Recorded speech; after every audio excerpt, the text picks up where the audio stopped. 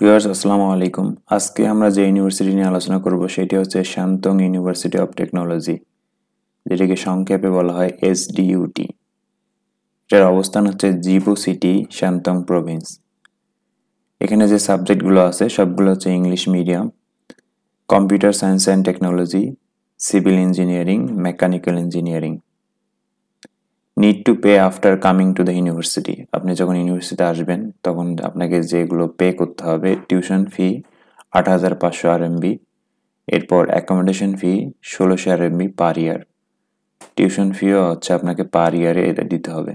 এরপরে insurance fee আটশো R MB per year visa extension fee চারশো R MB per year medical check up চারশো সত্তর R MB only for first year এটা শুধুমাত্র first ইয়ারে দিতে হবে।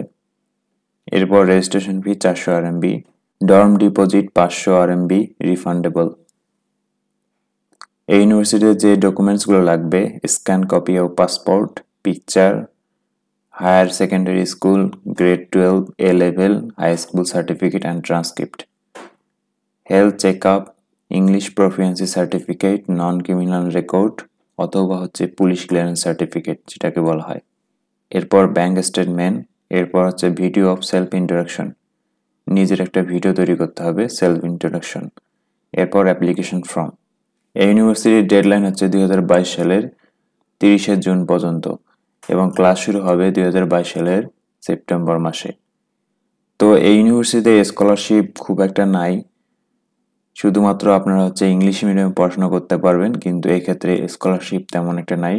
এখানে হচ্ছে আপনাকে টিউশন ফি অনেক টাকা দিতে হবে।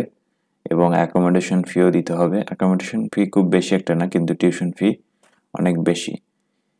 এরপর ইন্স্যুরেন্স ফি যাবতীয় অনেক কস্ট আছে, তো ইউনিভার্সিটিতে অ্যাডমিশন নেওয়ার আগে আগে ভালো করে যাচাই করে অ্যাডমিশন নেবেন। ইউনিভার্সিটি হচ্ছে Shandong University of Technology STUT Zibo city Shandong province আশা করি এই ইউনিভার্সিটি সম্পর্কে আপনারা একটি সম্পূর্ণ ধারণা পেয়েছেন। এই ইউনিভার্সিটিতে কী কী ডকুমেন্টস লাগবে এবং টিউশন ফি এবং আদার্স যে ফিগুলো আছে, এগুলো হচ্ছে দেখে তারপরে ইউনিভার্সিটিতে অ্যাডমিশন নেবেন। যারা আমার চ্যানেলটি এখনও সাবস্ক্রাইব করেনি তারা অবশ্যই সাবস্ক্রাইব করবেন। ভালো থাকবেন সবাই। আল্লাহ হাফিজ।